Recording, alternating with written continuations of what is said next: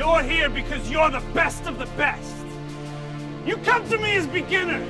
When I'm done with you, you'll be experts. You are here to sweep my Hooah! I hear he finished this one in like two seconds. I'm gonna beat all his records. What's his problem? His dad died in a minefield. Each time you dig, you will find the number.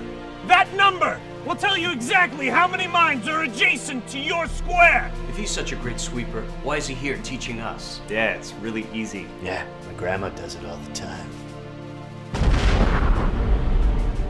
Find a one on a corner? It's a mine! Three on a wall? They're all mines! Careful!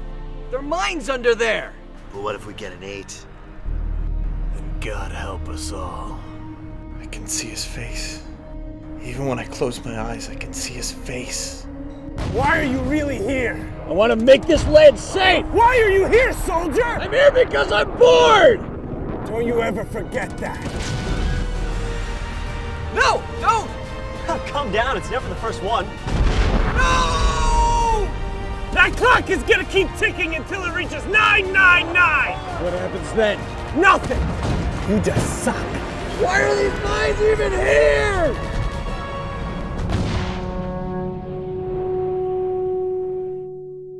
What do we do now?